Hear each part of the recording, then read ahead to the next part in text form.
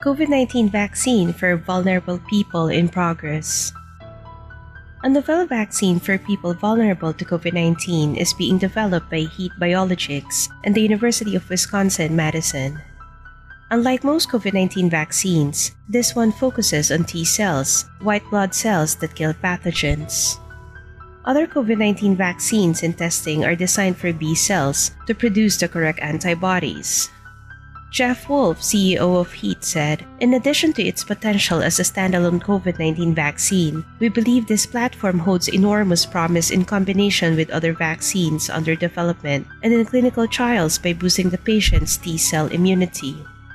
Heat's vaccine uses a genetically engineered combination of a protein called GP96, commonly found in human cells and viral proteins. The combination triggers immune responses from T cells. The objective is to teach T cells to recognize and defeat SARS CoV 2. This helps build up long term immunity against COVID 19. And if a person has an antibody centered vaccine, both their T and B cells will be prepared to fight the virus in the future. The basis of the new vaccine is the recent data suggesting T cells can recognize the approach People of advanced age and people with health conditions such as heart diseases, diabetes, obesity, liver disease, and chronic kidney disease can benefit from the vaccine. Each vaccine coupled with standard vaccines can result in better immune response, especially in people with compromised or weakened immune systems.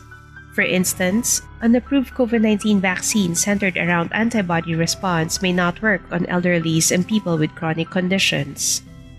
But an approved vaccine centered around T cells may help the other vaccine produce the desired immune response. According to the Seattle Post Intelligencer, the main role of B cells is to produce antibodies, while T cells have a range of functions depending on the type. Although the data is yet to be published, Heat's vaccine suggests targeting memory T cells that provide the immune system information of encounters, similar to memory B cells. However, B cells cannot attack directly. They can only produce antibodies to bind and disable invaders and wait for macrophages to finish the job. T cells, on the other hand, can directly engage.